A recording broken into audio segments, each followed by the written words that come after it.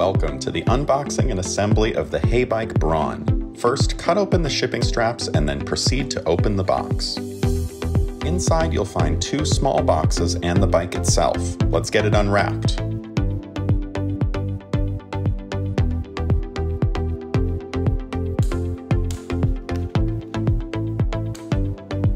Find the handlebar stem and open the first small box containing the front light. The second small box contains a charger, pedals, manual, tools, and cable ties. First, prepare the bike. Open the handlebar screw and remove the protectors. Remove the front fork protector. Remove the rear gear protector. Unscrew the front fork transport screw.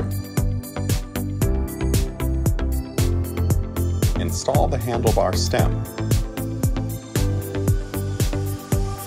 Release the top screws, set the handlebar in place, and mount it.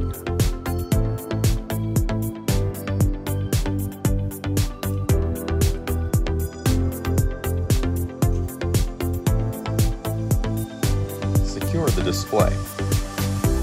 Let's install the front wheel. First, remove the protectors and screw from the wheel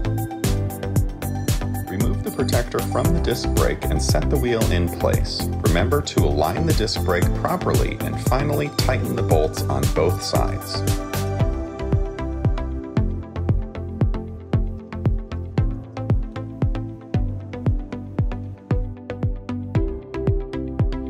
Align the front wheel before final tightening. Attach the light in the front using the mount.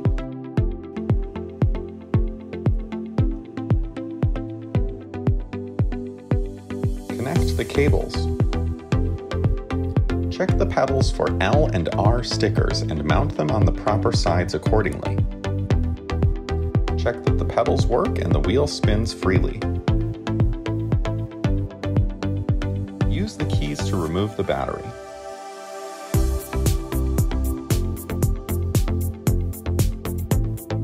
The charging port of the battery is located on its side. To attach, just lift the battery up to the frame. You can charge the battery when it is attached to the frame as well. Turn on the bike and test the motor by speeding up when pressing the plus button.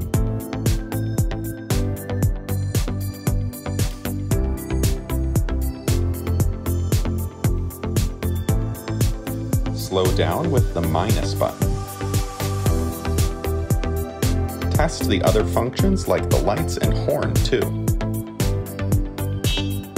test the gears.